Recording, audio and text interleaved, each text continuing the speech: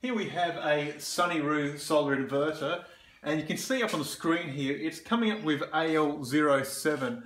Now AL07 is an alarm code, alarm AL stands for alarm and the 07 is a fault code.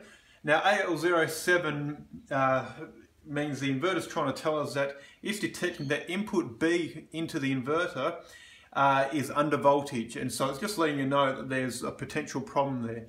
Now in this case uh, I'd expect there to be uh, no input into input B of the inverter because we don't have any, any solar connected to it. We have a look down at the bottom of the inverter.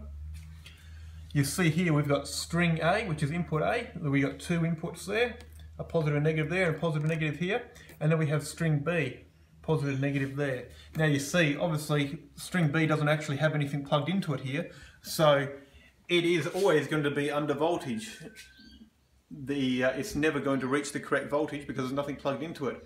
And so an inverter which only had uh, power, uh, solar panels plugged into input A would always come up this fault on a Sunny Roo inverter. Now, if you did actually have panels connected into input uh, input B of your inverter, the string B, and you are getting this AL07 issue, then you are going to need to get an accredited solar electrician to come and have a look at what's going on because it, it could be a problem with the solar inverter, it's not reading the, uh, the power coming in from the solar panels correctly, or it could be a problem with the solar panels or the cabling or the circuit breakers or something like that in between the inverter and the solar panels on that input.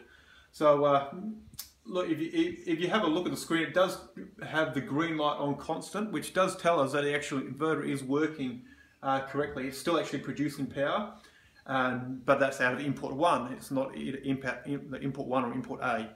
It's not doing anything out of input two. If we have a look through here, these uh, Sunny Roo inverters have the, the A and B reading. So A is input A, B is input B.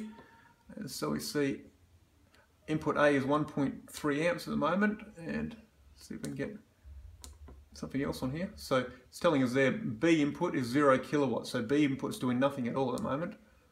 See if we can get something else on here. Now oh, there we go. 0.23 kilowatts on input A at the moment.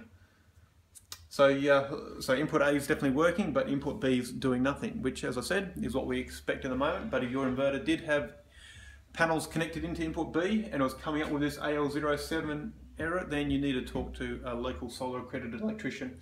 If you're in Brisbane or the Gold Coast or Southeast Queensland, uh, Gold Coast Solar can certainly help. If you're somewhere else, I'd recommend trying to uh, Google a local solar expert and uh, get them to come and have a look at your system and work out what's going on.